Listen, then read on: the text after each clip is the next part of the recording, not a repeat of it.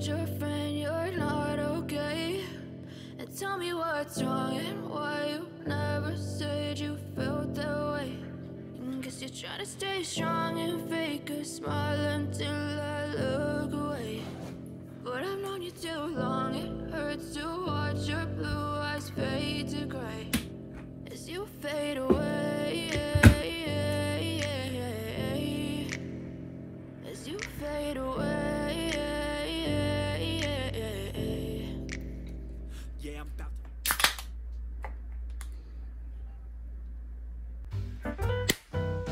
いただきます「